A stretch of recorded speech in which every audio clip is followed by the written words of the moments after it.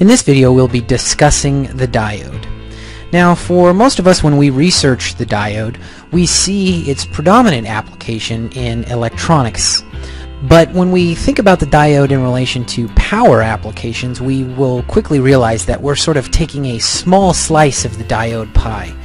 Really, uh, when we think about it in use for power systems and so forth. So we're going to not be explaining all of diodes, but just the sorts of diode knowledge you'll need for the power PE.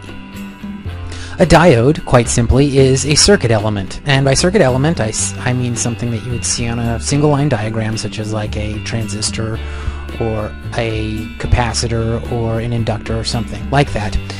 Anyways, a diode, functioning as a circuit element, only allows current to flow in one direction and as a circuit element it is represented by this symbol.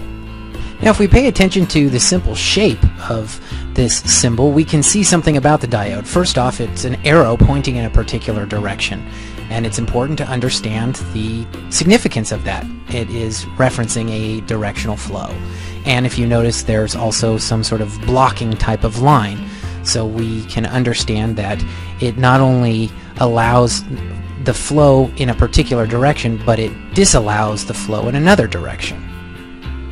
As power engineers, we very often work in the world of vectors and phasors and so forth for our problems, but when thinking about the diode, we're actually going to have to step outside of that world and now function in the world of the sine wave.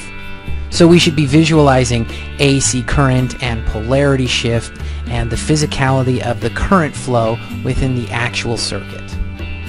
And this is the primary application of diodes in the power world, which is waveforms.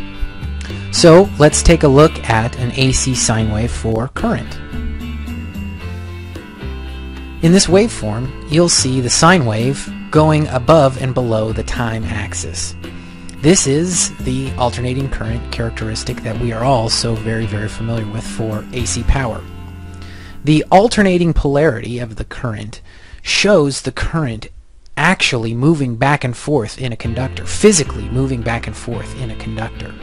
And the diode prevents the current from flowing in one of these directions. What does it mean that the diode prevents the current from flowing in one of these directions?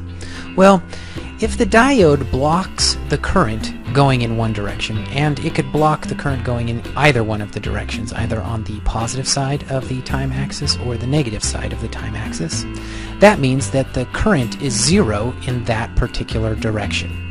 In our example here, we will zero out the negative polarity direction. So let's say just that, that the negative polarity current motion is being blocked by the diode all of the sine wave humps that dip below the time axis become zeroed out.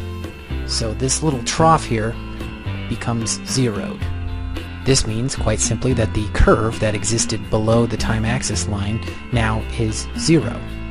It's no more. With the diode in place, blocking the negative polarity current motion, our old sine wave becomes this sine wave. So let's draw it over here with simply just the diode waveform.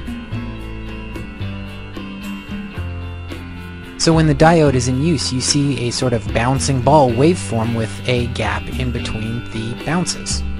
This is largely the core of the knowledge you'll be required to know for the Power PE.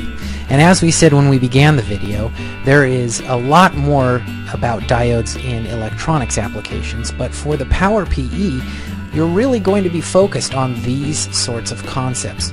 So in this PE, you'll be asked about sort of how it creates modified waveforms potentially, or you could have questions about calculating mean values or calculating RMS values. As well, in power applications, the diode is used a lot in converting AC to DC. So there could be also questions involving waveform rectification of one form or another. So just keep in mind for the power applications we're going to be dealing with these waveform issues in the use of the diode. So if you understand what a diode does to the waveforms, you can answer all sorts of these PE questions with your standard base knowledge of power systems and power formulas and so forth. So that's the diode for the Power PE.